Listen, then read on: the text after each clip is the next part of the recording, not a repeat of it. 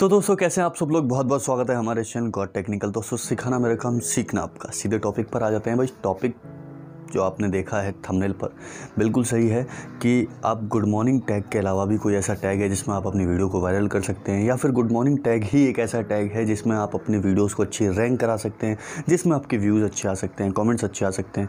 ये सारा का सारा सेक्शन जो है गुड मॉर्निंग टैग का वो कितने लोगों पर निर्भर करता है और किस कैटेगरी पर निर्भर करता है, ये सबसे इंपॉर्टेंट चीज़ है।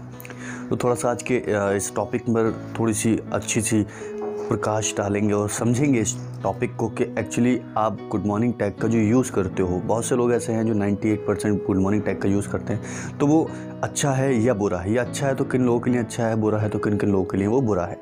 ठीक है दोस्तों, यहाँ पर आपको करना क्या है भाई? सबसे पहले टॉपिक शुरू कर लेते हैं, लेकिन शुरू करने से पहले मैं चाहूँगा दोस्तों, अगर आप लोग हमारी वीडियो को ये देख रहे हो पहली बार, या फिर आप देख रहे हो इसको बार बार तो भाई वीडियो को लाइक करना तो बनता है। क्योंकि मैं अगर मेहनत करता हूँ तो वो आप लोगों की वजह से। और अगर आप उस वीडियो को देख के कुछ थोड़ा सा भी लाभ उठा पाते हो तो एक लाइक तो बनता है यार।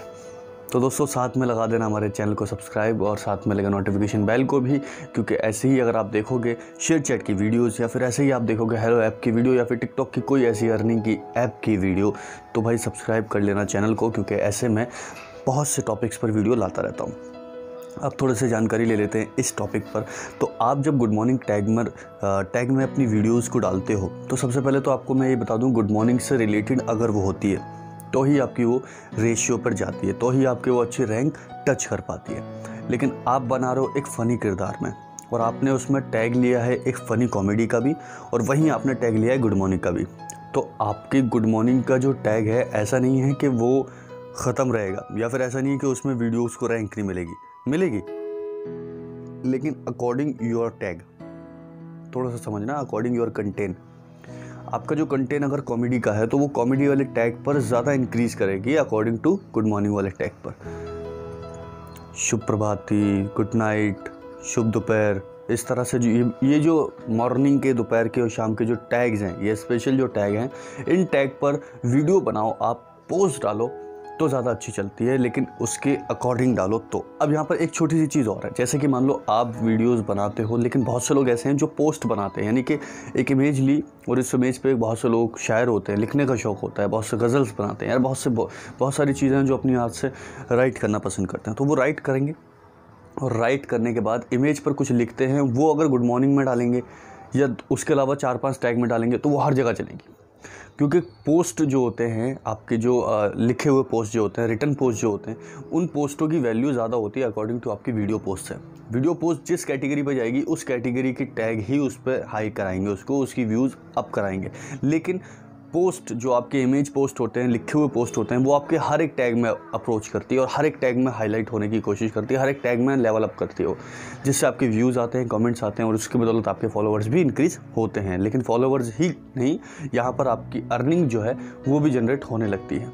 लेकिन इमेज से अर्निंग जनरेट इतनी नहीं होती, जितना आप मतलब समझ लो कि आपको आपने दस इमेज डाली लिख कर तो उससे अगर अर्निंग आपकी सौ रुपये हो रही है तो दस वीडियो जब आप डालोगे तो उसकी अर्निंग आपकी एक हज़ार रुपये होगी। अब आप खुद अंदाज़ा लगा लो कि कितना डिफरेंस है इन दोनों में। इमेज डालने में और वीडियो डालने में। तो यहाँ तक आपने बात समझ ली होगी। आज के टॉपिक पर यही समझाना था कि आप जो गुड मॉर्निंग का टैग लगाते हो अपने वीडियोस पोस्ट के अंदर इमेज पोस्ट के अंदर तो वो किस कंटेंट के लिए है? और वो कितना अच्छा उस पर रैंक कर पाएगा? थोड़ा सा समझना इस चीज़ को, क्योंकि समझना आपके लिए ज़रूरी है। अगर आप समझ पाते हो उसको अच्छे ढंग से तो आप गुड मॉर्निंग टैग का यूज़ करो। अदरवाइज़ गुड मॉर्निंग टैग का यूज़ मत करो। बहुत से ऐसे लोग हैं जो गुड मॉर्निंग यूज़ ही नहीं करते गुड मॉर्निंग टैग का, लेकिन फिर भी उनकी वीडियो अप अवेलप होती है। वो आप लोगों ने देखी भी होगी।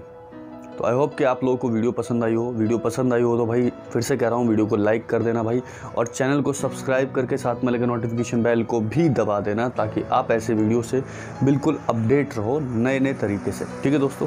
तो आज के लिए बस इतना ही। बाय